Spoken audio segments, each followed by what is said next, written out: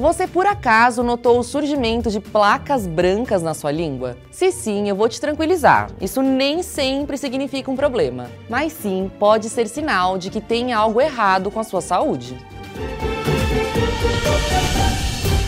A presença de placas brancas na língua pode indicar uma série de problemas diferentes, mas geralmente está associada ao acúmulo de micro-organismos e outras partículas na superfície da língua. Em geral, são quatro as causas. Duas delas são menos preocupantes. A primeira é a saburra lingual, que ocorre devido a características da língua da pessoa, com papilas mais saltadas que favorecem o acúmulo de resíduos. Já a segunda é a chamada língua geográfica, situação que pode ser hereditária ou associada a quadros de asma, rinite alérgica ou falta de vitaminas. Estresse emocional e psoríase na língua também favorecem a ocorrência. Em geral, esses dois casos não evoluem e têm como principal sintoma o mau hálito, mais conhecido como bafo. O melhor tratamento aqui é caprichar na higiene oral, o que inclui escovar a língua. Mas uma das outras causas para a língua branca é a leucoplasia oral. Ela causa o engrossamento da camada de queratina da cavidade oral e ocasiona o surgimento de placas brancas na língua,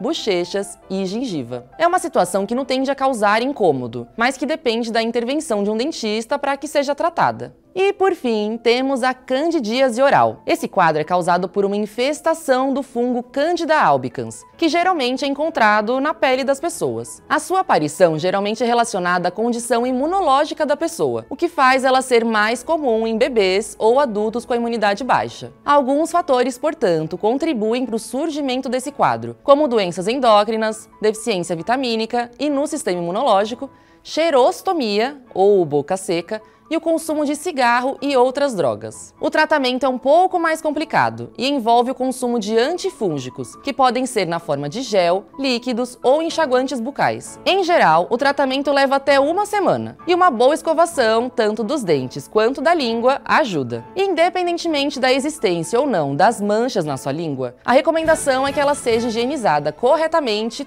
todos os dias. Para isso, além de escovar os dentes depois das refeições, é importante também escovar a língua. Outra solução possível é utilizar os raspadores de língua. Esse utensílio é encontrado em diferentes formatos, mas geralmente ele tem uma parte curva que serve para passar sobre a língua do fundo da boca para frente, removendo acúmulos de sujeira e micro-organismos da sua superfície. Apesar do nome, não se deve propriamente raspar a língua, tá? O uso dos raspadores deve ser feito de forma suave e superficial, evitando causar lesões que possam trazer mais dores de cabeça do que benefícios.